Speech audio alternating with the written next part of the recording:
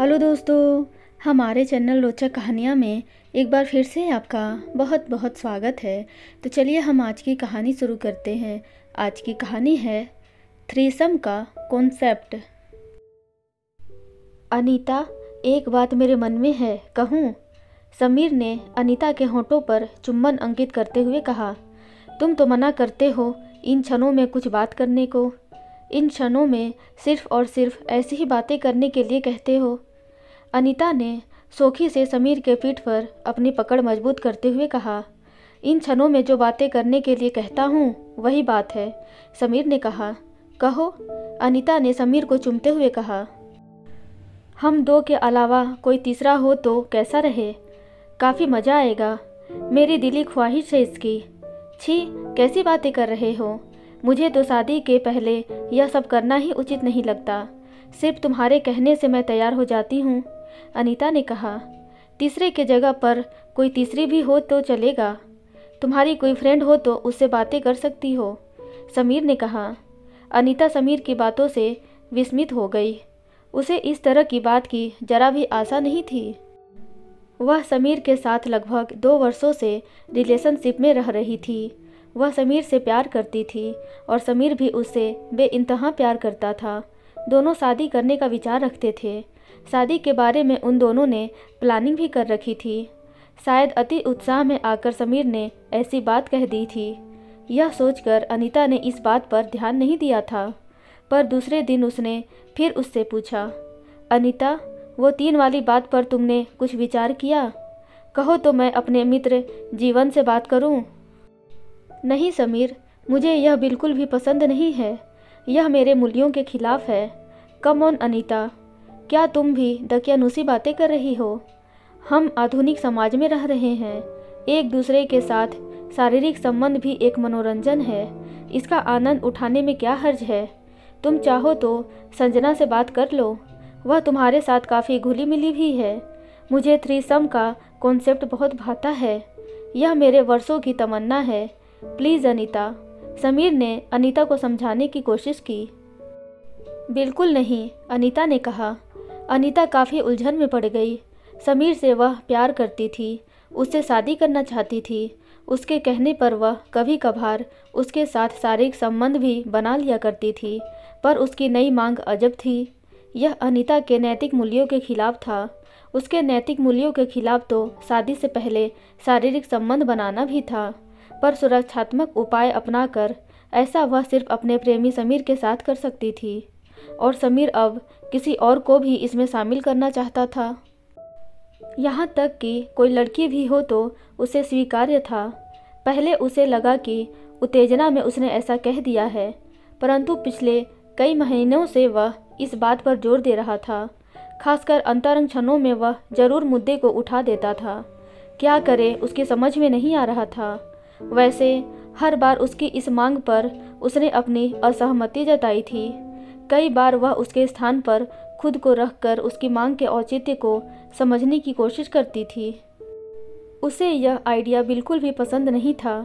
फिर यदि ऐसा करने के लिए वह राज़ी हो जाती है तो जो तीसरा या तीसरी होगा या होगी, उसके साथ कैसा रिश्ता बनेगा? समीर हमेशा उसे ओपन माइंडेड होने की सलाह देता था, पर ओपन माइंडेड होने का यह मतलब तो नहीं कि नैतिक मूल्यों को ताक पर रख दिया जाए। जो लोग ऐसे कृत्य में खुद को सहज पाते हैं, वे भले ही ऐसा करें, पर वह इसके लिए सहज नहीं हो पा रही थी। एक दिन वह बैठी अखबार के पन्ने पलट रही थी कि एक स्तंभ पर उसकी निगाह गई। इसमें पाठक अपनी प्रेम से संबंधित समस्याओं की सलाह विशेषज्ञ से लेते थे। एक बड़ी ही विचित्र समस्या इसमें उसने पढ़ी। इसमें एक लड़की ने अपने प्रेमी की कम आय होने के कारण आत्महीनता की भावना से ग्रसित होने के कारण सलाह मांगी थी। विशेषज्ञ ने बड़ा ही व्यवहारिक सुझाव दिया था। उसे उसका सुझाव बहुत ही अच्छा लगा था।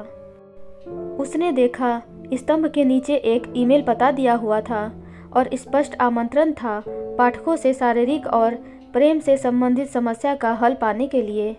उसने ईमेल पता नोट किया और अपनी समस्या को विस्तार से लिखकर ईमेल कर दिया। अखबार ऑनलाइन उपलब्ध था। दूसरे दिन से ही प्रतिदिन वह अखबार को ऑनलाइन खोलती और उस कॉलम को पढ़ने लगी। इस क्रम में अन्य कई लोगों की समस्याओं से वह रूबरू हुई। उसे आश्चर्य हुआ कि लोगों के पास अलग अलग तरह की समस्याएँ हैं। कुछ तो बिल्कुल ही विचित्र। एक सप्ताह के बाद उसने अपनी समस्या का समाधान अखबार में छपा पाया। समाधान कुछ इस प्रकार था। आपका बॉयफ्रेंड आपसे बहुत कुछ चाह सकता है। लेकिन आपको देखना है कि आप किस बात में सहज हैं। सही रिलेशनशिप वही है, जिसमें दोनों पक्ष एक दूसरे का सम्मान करें। आपके बॉयफ्रेंड को उस सीमा को मानना चाहिए, जो आपने अपने लिए और उसके साथ अपने भविष्य के लिए तय कर रखा है। आप स्पष्ट रूप से उससे बात करें, उसे स्पष्ट रूप से बताएँ कि आप उसकी बात को क्यों नहीं मान सकती। ओपन माइंडेड होने का मतलब यही है कि किसी भी मुद्दे के पक्ष और विपक्ष को समझा जाए और फिर उस पर सोच विचार कर सही निर्णय लिया जाए। अनीता को यह सुझाव पसंद आया। पहले उसने विचार किया कि क्यों उसे उसका तिकड़ी वाला प्रस्ताव स्वीकार नहीं है। सबसे पहले तो उसके मन में ख्याल आया कि शारीरिक संबंध सिर्फ़ दो पार्टनर के बीच होना चाहिए, तीसरा कोई भी बीच में नहीं आना चाहिए। यही कारण है कि शारीरिक संबंध बिल्कुल एकांत में किया जाता है। फिर यदि तीसरा या तीसरी को शामिल किया जाए तो आपसी संबंधों में दरार आ सकती है। हो सकता है कि उसके और समीर में से कोई तीसरे की ओर आकर्षित हो जाए और फिर पूरा समीकरण बिगड़ जाए, पर ज़्यादा महत्वपूर्ण उसे नैतिक आधार ही लगा। अगली बार जब समीर ने इस बारे में चर्चा की तो उसने स्पष्ट रूप से उसे अपना विचार बता दिया, साथ ही यह भी बता दिया कि यदि उसे यह आइडिया आजमाना है तो वह उसका साथ नहीं दे सकती। उसे डर था कि शायद समीर नाराज़ होकर उसका साथ छोड़ देगा। परंतु समीर समझदार निकला। उसने उसके तर्क को सुना और बात उसके समझ में आई। उसने अपनी विचित्र मांग को तज कर अपनी प्रेमिका के साथ जीवन बिताने का निर्णय किया। दोस्तों, आपको ये छोटी सी कहानी कैसी लगी प्लीज़ कमेंट में ज़रूर बताएँ। और ऐसी ही रोचक कहानियाँ पढ़ने और सुनने के लिए हमारे चैनल रोचक कहानियाँ को लाइक, शेयर एंड सब्सक्राइब ज़रूर करें। Thank you.